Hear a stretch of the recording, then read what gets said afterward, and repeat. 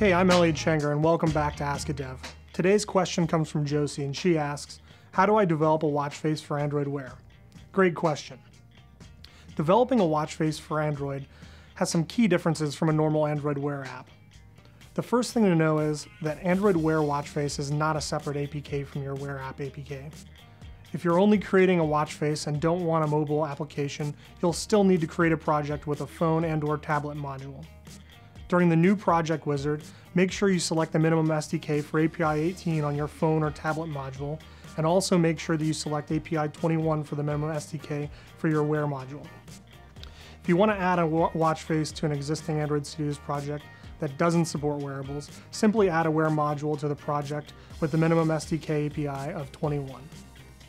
It's important to note that all watch faces require two major components, a service and an engine. The service is used to help update the watch face in instances like when you get time changes, notifications, or other configuration changes.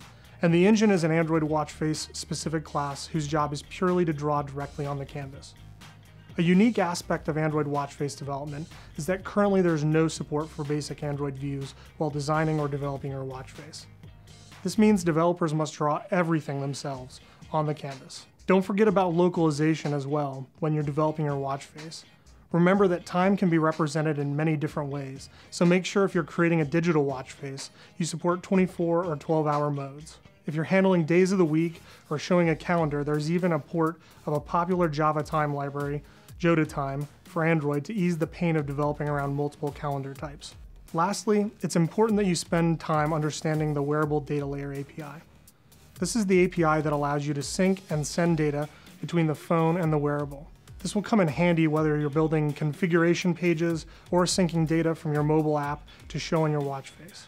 That's it for this episode. As always, tweet your questions with hashtag AskADev or just leave them in the comments below.